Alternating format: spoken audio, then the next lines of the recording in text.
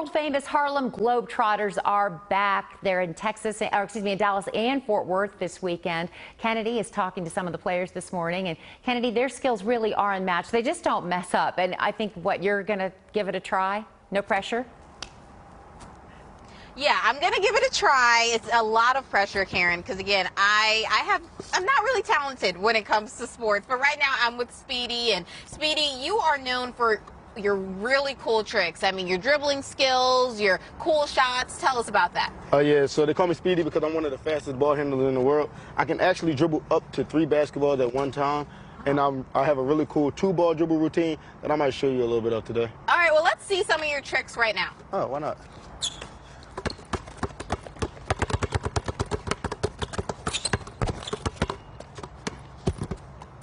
All right, and then now it's our turn, my turn to, Hold your to finger up just like that.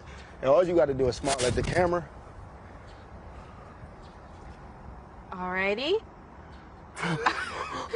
I'm like dying inside right now because I, I do not like sports. But okay, so and then there was some type of around the back trick that you can oh, show yeah, me if you as want well. To, you can go around your back just like this. Hold the ball out. Okay. punch it to me. Okay, so around, around the, back. the, back. There you go. Hold it out. Okay, punch. and then that was much harder than it looked to be on TV. But again, okay, so people can see you guys uh, this weekend in Dallas and yes. in Fort Worth, yep. right? On Saturday, we're going to be at AAC.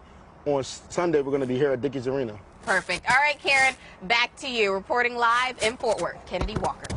You did a good job. Don't let them embarrass you, Kennedy.